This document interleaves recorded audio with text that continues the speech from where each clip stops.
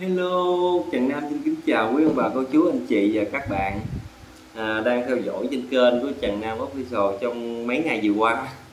Thì à, Trần Nam cũng à, chân thành gửi lời cảm ơn à, đến quý ông bà cô chú anh chị đã um, ủng hộ ủng hộ Nam trong những ngày vừa qua. Đó, thì hôm nay Nam cũng chia sẻ đến um, uh, quý bà con quý anh chị rồi um, một cái vấn đề cũng hơi tế nhị thôi uh, mọi người.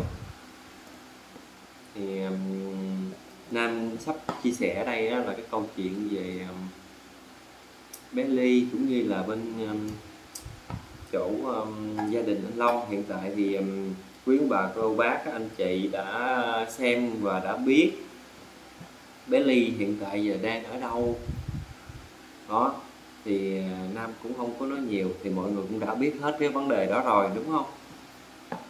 Thì à, cũng một lần nữa, Nam cũng chân thành cảm ơn đến à, anh Kim Tiểu Long, cũng như là gia đình như là hai vợ chồng em Thiên Vinh. Khi mà anh Long bay về Mỹ, thì người mà lo cuộc sống hay là chăm sóc gì đó cho hai bà cháu thì trực tiếp đó là em Chiêu Vinh và vợ của Chiêu Vinh nha. Là hai hai vợ chồng em Chiêu Vinh sẽ là người lo công việc ở bên này giống như là điều hành công việc ở công ty. Rồi à, chăm sóc cho hai bà cháu. Nói chung thì cũng đủ duyên.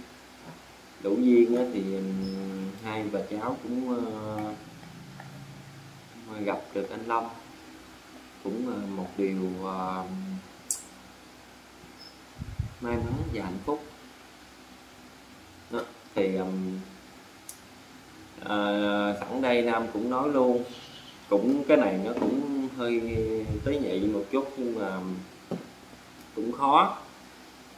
Tại vì em mấy ờ, mấy cái dịp trước á, khi mà anh Long còn ở đây thì anh Long đi đâu, đi đó, hay đi chơi, hay đi à, tiệc, hay là đi show? Thì à, anh Long sẽ có dẫn bé Ly theo. Thì lúc đó thì mình đi ra bên ngoài sự kiện. Thì anh em YouTube, ai đủ duyên thì sẽ được quay anh Long và bé Ly với bà ngoại thì còn ai chưa không đủ duyên á, thì à, chưa được quay. Nhưng mà anh Long cũng trợ duyên thì à, cũng kiểu giống như là à, khi mà anh Long mà ổng bé đi đi đâu á, thì mọi người cứ quay thoải mái tự nhiên hết. Nói chung là anh Long rất là gần gũi rất là thoải mái về vấn đề đó. Nhưng mà cái câu chuyện á nói chung không phải là Nam cũng uh, gì hết nhưng mà Nam cũng muốn chia sẻ với mọi người. Còn bây giờ ví dụ giống như bây giờ à, anh Long đi về Mỹ rồi thì à, còn Tiên Vinh ở nhà thì sẽ quản lý hết. Kể cả là bé Ly luôn. Có ví dụ như um, ai muốn nhờ bé Ly đi uh, quay hay là đi uh, quảng cáo này kia hay là trong giới anh chị nghệ sĩ showbiz rồi đó ví dụ như nhờ bé Ly để ờ, xuất hiện trong MV thì cũng thì cũng cũng cũng phải thông qua anh Long. Rồi xong rồi hoặc là liên hệ trực tiếp với chương Dinh, chương Dinh sẽ ờ, báo với anh Long. Chứ không phải tự nhiên mà muốn quay thì quay. Tại vì ờ, trước đây là là một cái câu chuyện khác. Còn khi mà bây giờ về nhà anh Long sống là một cái câu chuyện khác. Thì Nam cũng mong tất cả mọi người hiểu và thông cảm cho vấn đề đó. Giống như là mai chiều hay là bữa nào đó đi ra ngoài mà tình cờ mình gặp được uh, bé Ly với Trương Vinh đi ra ngoài đi chơi đi siêu thị ăn uống gì đó ok thì lúc đó thì mọi người quay tự nhiên thoải mái không có gì hết. Nhưng à, cái à, ở nhà thì nó khác với mọi người tại vì á mỗi người có một công việc khác nhau mỗi người có cuộc sống khác nhau mỗi người có không gian riêng khác nhau. Mình cũng phải à, hạn chế cái vấn đề đó. Tại vì á bé ly là cái à, sức khỏe của bé ly là không phải bình thường giống như những đứa trẻ khác bé ly. Thì mọi người cũng biết rồi 22 tuổi nhưng mà hình hài của bé không được may mắn thì rất là nhỏ. Thì cái sức khỏe đó không được à, không được uh, tốt. Cho nên đó, là anh Long rất là quan tâm vấn đề sức khỏe đó. Chứ uh, tại vì anh Long cũng muốn để cho một bé cứ thoải mái tự nhiên. Chứ không phải lúc nào mà mọi người muốn quay gì đó chạy lên quay không là cái vấn đề đó là không thể nào được nha cả nhà. Cũng phải thông cảm nó cũng khó lắm. Tại vì chỗ ờ, kinh doanh buôn bán rồi quay như vậy thì sẽ mất cái vẻ tự nhiên của bé. Chứ không lẽ bây giờ uh, không có được cái không gian riêng thì cũng khó. Thì Trần Nam cũng muốn chia sẻ một cái câu chuyện như vậy thôi để cho mọi người biết. Ví dụ như ừ đi ra ngoài mình đủ duyên á, thì mình quay. Ok tất cả anh chị em youtube nếu mà đủ duyên gặp á, thì mình cứ quay bình thường hết không sao hết. Tại vì mình đi ra bên ngoài mình đủ duyên thì mình gặp mình cứ quay thôi. Nhưng mà khi mà ta về à, ta về nhà thì mình phải để một cái không gian riêng. Ở đây mình chỉ chia sẻ thôi chứ mình không có nói tới ai hết tại vì um, mình cứ quay như vậy làm mất cái cái sự riêng tư của, của người ta. Cho nên đó, mọi người cũng uh, hiểu và thông cảm cho cho gia đình.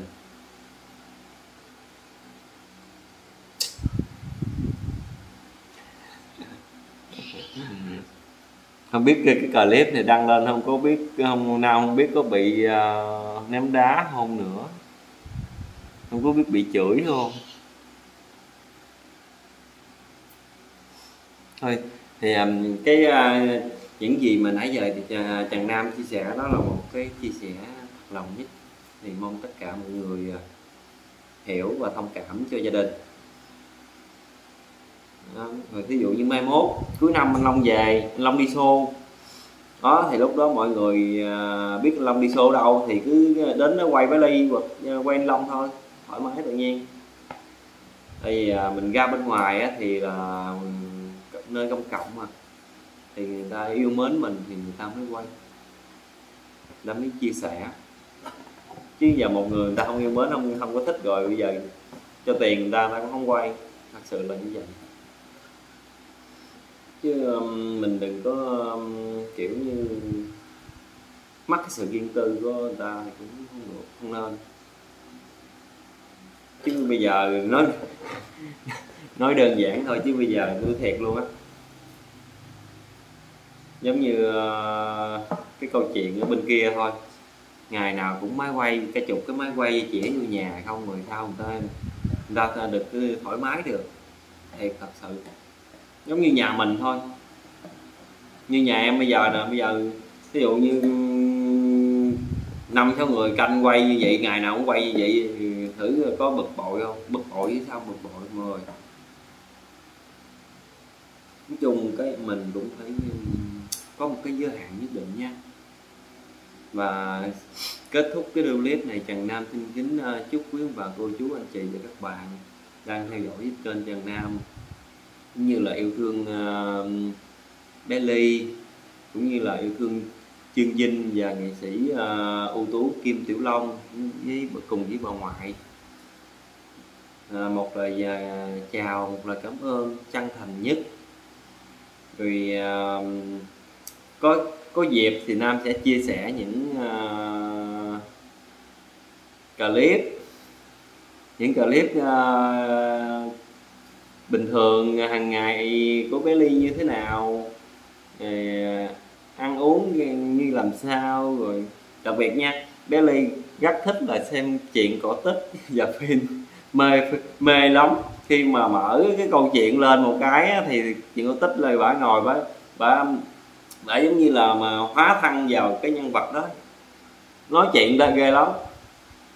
Khi mà mở cái chuyện cổ tích và phim nghe thấy cưng lắm nói chuyện thấy cưng lắm. Thôi à, lần cuối nữa trần nam xin kính chúc quý ông bà cô chú anh chị và các bạn à, buổi tối um, thứ hai đầu tuần ngày ngày 30 nha. Thì uh, một lời chào thân thương và trân trọng nhất chúc uh, mọi người có một giấc ngủ thật ngon. Nhớ mua hàng ủng hộ Trần Nam nha cả nhà ơi. Rong biển kẹp hạt dinh dưỡng bánh thiền siêu hạt và trà mắt ngủ gồng nhỏ kim tiểu long qua số điện thoại duy nhất 0942 457 929 bye bye xin chào.